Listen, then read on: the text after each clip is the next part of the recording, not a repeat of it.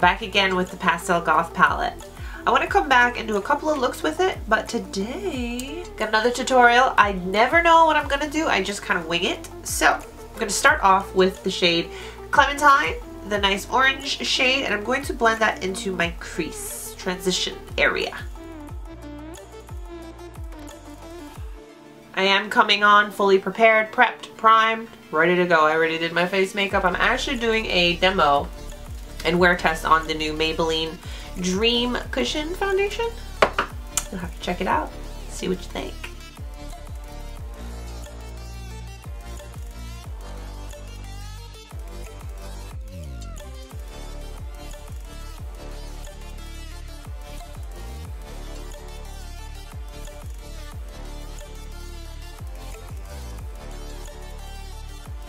Just gonna take a flat shader brush and I'm gonna go into that shade Skull.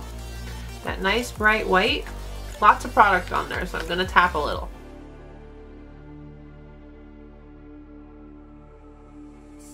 I'm gonna take that same flat shader and that same skull shade and that's going to be right here. Just a little in the inner tear duct area, first portion of the lid just to kind of brighten that area up just a little bit.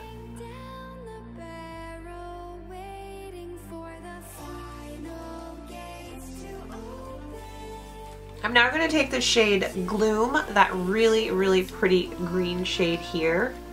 My last tutorial, I was kind of like up here in the shadows, and I feel like I want to go a little darker and try to use them all to create as many different looks as possible to share with you guys.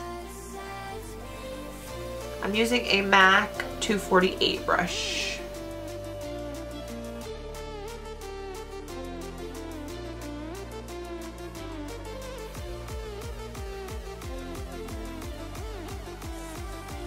Gonna go back into my transition shade brush, a little bit of product, and just blend so everybody saw. I'm gonna take, what is this particular brush? Code this is a Sigma E55.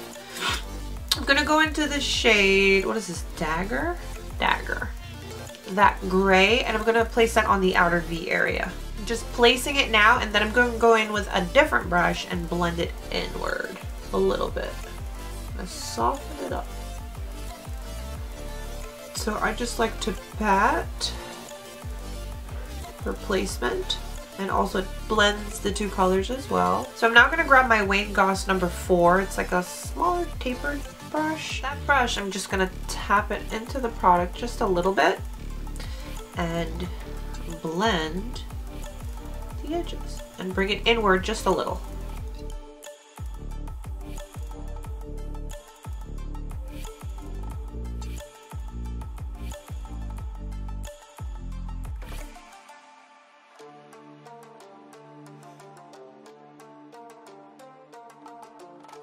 Okay, so I'm going to take my transition shade again, the Clementine, and just blend. Make sure everything is nice and seamless.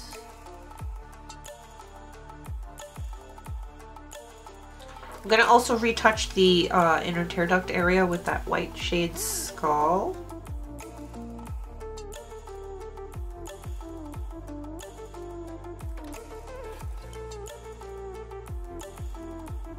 Alright, time for some wing liner. And then uh, we'll work on the bottom lash line. I'm to take my Kat Von D tattoo liner in Trooper, do a little wingage.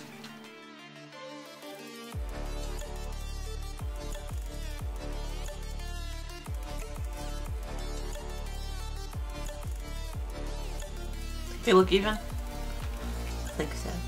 Close enough. Let's work on the lower lash line, shall we? Taking a flat definer brush, this is my Wayne Goss number 7. I'm going to go into the dagger shade, the gray. Bring that down to the bottom, just smoke it out.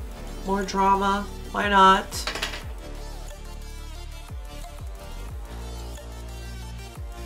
So with a clean pencil brush, this is my Wayne Goss number 5. I'm just going to smudge it a bit.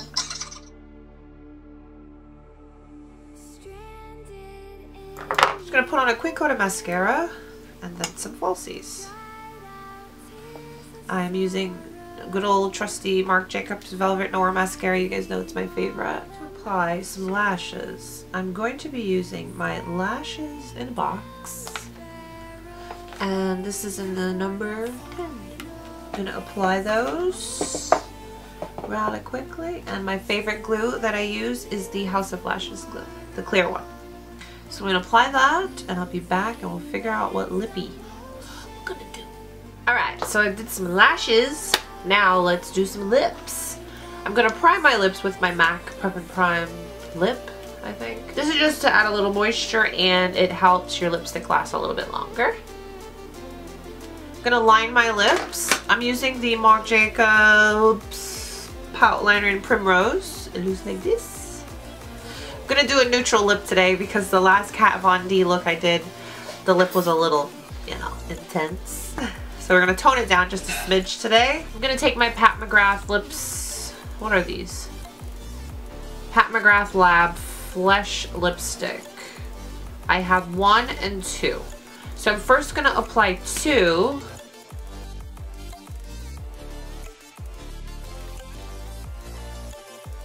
To go in with number one towards the center to give it almost that ombre look.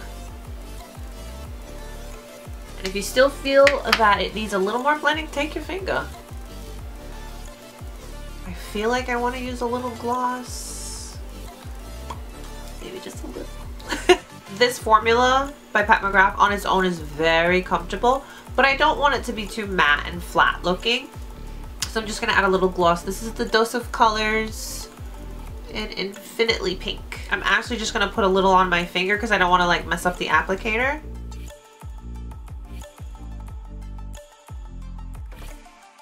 And that's it.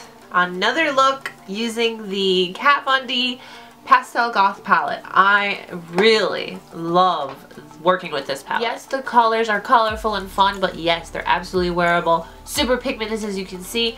And I did my face makeup before my eye makeup and I have no fallout. It's amazing. Let me know what you guys think down below and stay tuned for some more tutorials with this palette. Stay beautiful guys. I'll see you soon. Bye.